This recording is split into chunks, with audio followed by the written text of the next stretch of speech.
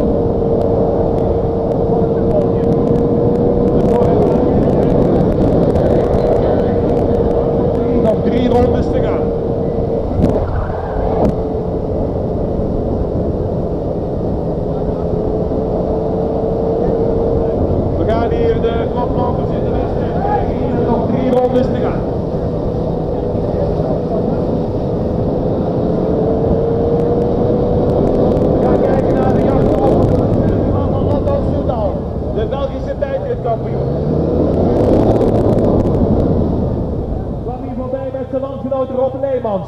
Geert van der Wijs op kop van die achtervolgende groep.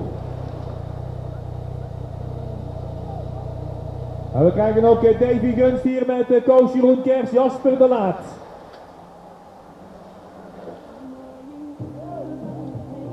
Dan gaan de tijdsverschillen wat groter worden.